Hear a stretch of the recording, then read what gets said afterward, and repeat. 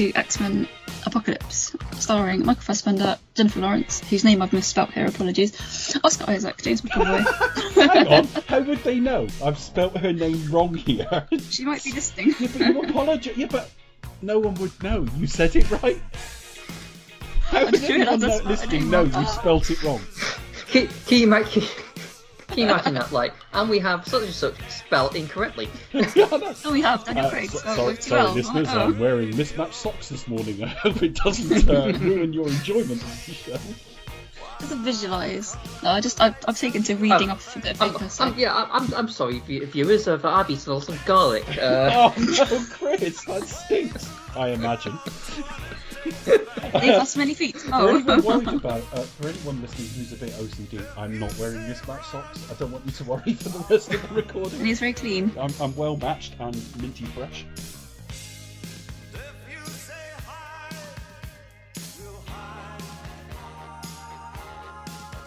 And Magneto's, I think, doing something with the Earth's polarity to cause destruction. Reversing polarity of the neutron flow. Excuse me. Well, that that's just what Jon Pertwee said in every episode, wasn't it?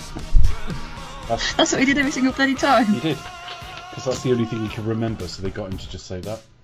And then Colin Baker came in and reversed the linearity of the proton flow or something like that. Colin Baker. I met him once. That's the one. He came off a bit of a dick, actually. Um, so I just thought I'd come in and say that. that's alright. Quite funny, makes me laugh. I think it's stupid, but never mind. Yeah. It's quite topical as is, well. is he acted with Clive Owen? Or, Cl- or Clive that would Warren. be, oh my gosh.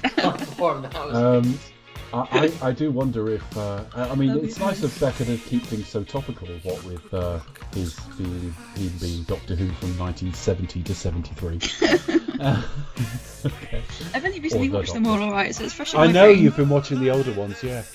I've never uh, seen them before. I keep trying with Doctor Who. I can't get. I just No, can't get into don't, don't. Avoid. I I, did it so I you didn't have to, idea- Dave. It's fine. Yeah, but you're enjoying it, aren't you?